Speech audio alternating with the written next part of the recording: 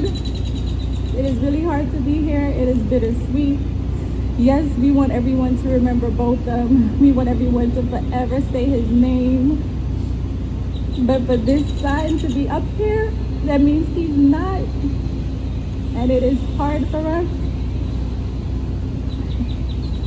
I thought I was going to be strong because it's supposed to be a celebration. But I miss my brother and want him back.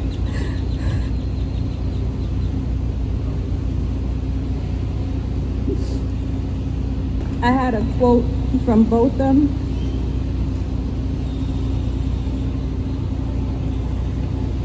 We are not alone as a community of believers, and I am comforted when I know I am not the only one doing something. This is Botham's word.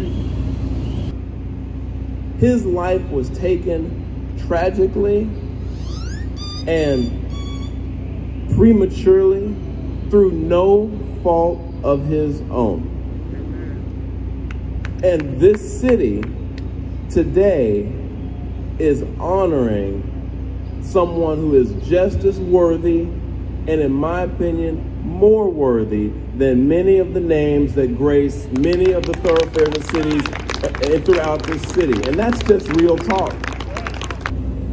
And on this historic day, of March 27, 2021 to have the unveiling for the first time ever that eyes will see that this street will forever memorialize the legacy of Botham Jean.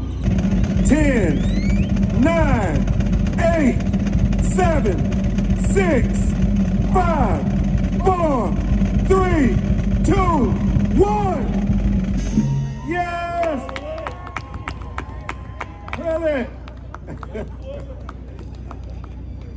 Yeah!